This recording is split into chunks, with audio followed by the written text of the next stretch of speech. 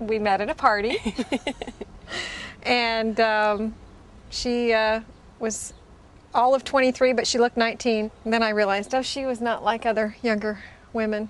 She was the one. And I just thought she was stunning. I love that.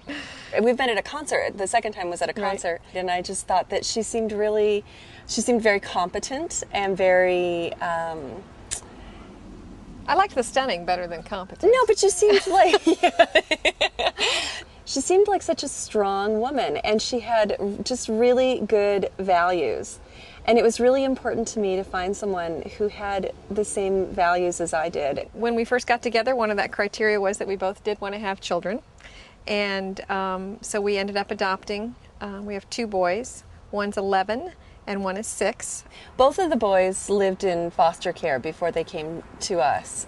It changed our lives in such a, an amazing way. I mean, you know, Rich, when he came home, was pretty traumatized and pretty shell shocked at mm-hmm. first.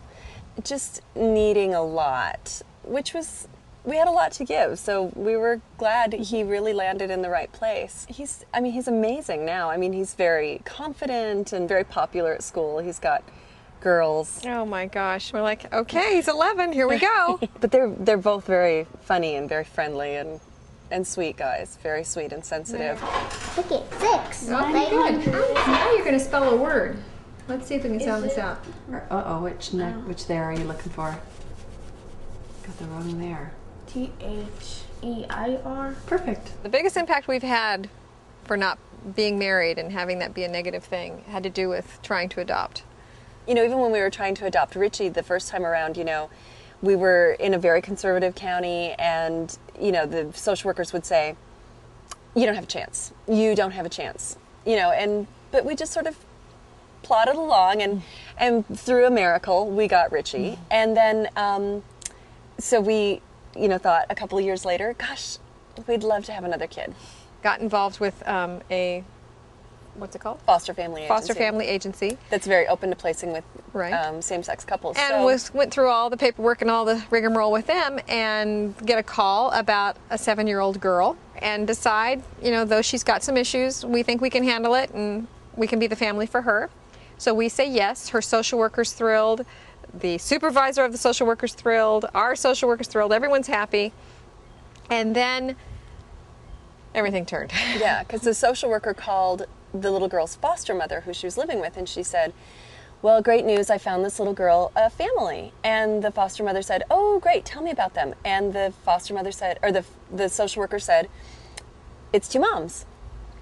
And the foster mother said, "Well, that's against God. That's a Absolutely sin. It's not. wrong. It's bad, and you can't place this child with them." Now, keep in mind that this foster mother was not willing to adopt this little girl, but she was not willing to let her leave her house to go to a same sex household either. just because of homophobia and just because our relationship isn't recognized Right. as a valid relationship That that little girl is not going to have a forever family. right it was a very difficult time for us and richie heard all of these things happening he is very aware of what's going on and so he hears people saying you know well you can't take title this way or you can't sign on this way because you're not a husband and wife and you know richie would get so frustrated when he was little he would say what's the big deal all they have to do is look at you and say you're two moms I mean, it's like, what's the big deal? It's like two moms.